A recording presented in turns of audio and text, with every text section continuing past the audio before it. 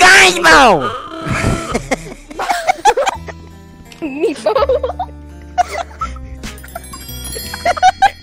My bow disappeared.